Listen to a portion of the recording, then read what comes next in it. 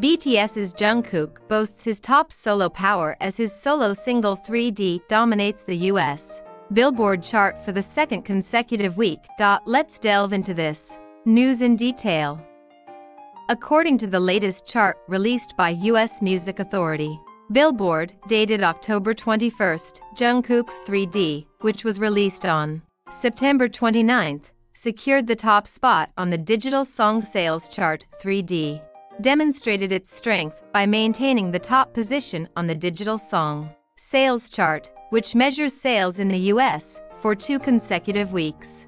Despite being a song by a Korean solo artist, 3D has proven Jungkook's unparalleled presence and popularity in the US, the world's largest pop market, by ranking number one for two consecutive weeks, surpassing just fandom to becoming a local favorite. As of October 21st, 3D has entered the Billboard main singles chart Hot 100 at 58th, Global 200 at 5th, and Global, excluding US, at 2nd for two weeks in a row. The previous week, it achieved 5th on the Hot 100, first on Global 200, and first on Global. Excluding US, last year, Jungkook topped the digital song sales chart with the official soundtrack Dreamers for the 2022 FIFA Qatar World Cup.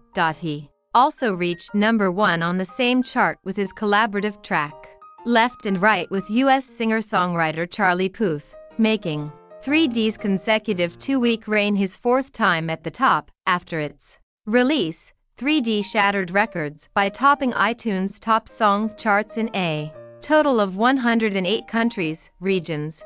It achieved the fastest time to top the iTunes top song charts in the so-called major 8 music markets, the US, UK, Japan, France, Canada, Australia, Netherlands, and Germany. On Spotify.